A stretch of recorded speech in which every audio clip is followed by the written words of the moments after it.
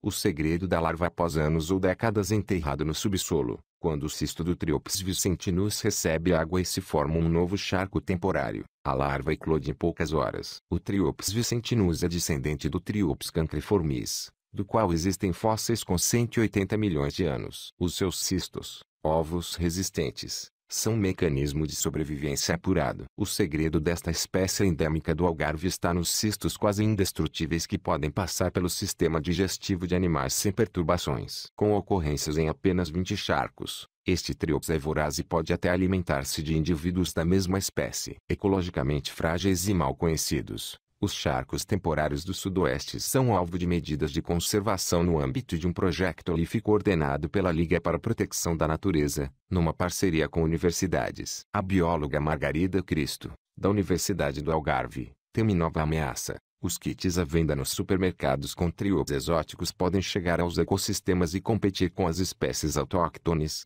criando danos incalculáveis, diz.